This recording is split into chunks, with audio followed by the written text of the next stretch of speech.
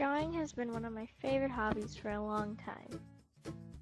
Styles of art include abstract, sculptures, and realistic art, which is my personal favorite.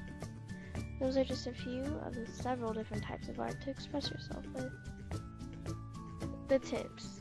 I've gathered tips from myself, other artists, tutorials, YouTube videos, etc. Tip 1. Eyes.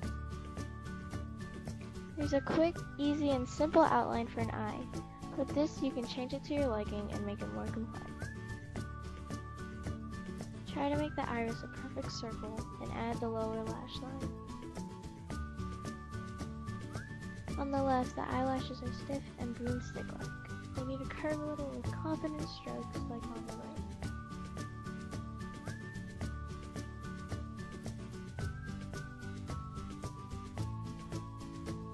Pupil should be the darkest part of the iris.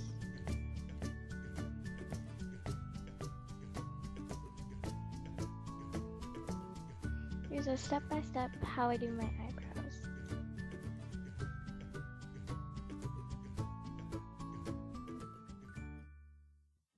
Tip 2. Noses.